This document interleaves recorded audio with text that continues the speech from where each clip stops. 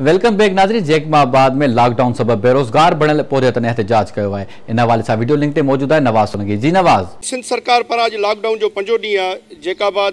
शहर जा देखा बेरोजगार थिदर डेली उजरत कमाई जेका पोरियत उनन जे घरन में फाका कशी वाली सूरत आल आज एक पोरियत जेको आ ते प्रेस क्लब पोची जेको आ एहतजाज रिकॉर्ड करायो अचो तुन का पुछा था कि हु छा थो चे कारोबार खुले जा दर दर ते राशन ने ओने भी सैया बचा कादे वेंदार केजा दुनिया भूख मरे थी जंहिं वटि आहिनि सरकारी उहे कंदा वरिता आहिनि बाक़ी जेका आहिनि प्रायवेट माण्हू तगारी खणण वारा होटल हलाइण वारा रेड़नि वारा काॾे वेंदा उन्हनि जे लाइ बि त कुझु हुजणु घुरिजे हाणे होटल बंदि थी विया लॉकडाउन लॻी वियो आहे घर जी रेखा माण्हू पार न कंदो उन्हनि खे राशन त मिलियो वञनि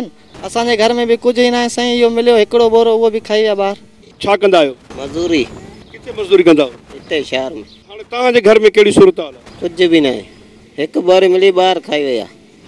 आहे हाणे राशन मिले जेका बेरोज़गार थियल पोहिरतनि जूं ॻाल्हियूं ॿुधियूं जिन जो इहो चवण हो त उन्हनि वटि जेको आहे घर में फाका कशी वारी सुरताल आहे समाजी अॻुवाण हाजी शेर मोहम्मद मुगरी पारां जेके राशन विरिहायो वियो उन्हनि में उन्हनि खे हिकिड़ो बोरो मिलियो पर उहो बोरो जेको आहे ख़तमु थी वियो हुनजी फैमिली वॾी हुई हू चवनि था त हिन वक़्तु घर में जेको फाका कशी वारी सुरताल आहे उहो चवनि था या त सरकार रोज़गार खोले या त जेको आहे उन्हनि माली मदद कई वञे त जीअं हू पंहिंजे घर जो चुड़ ॿारे सघनि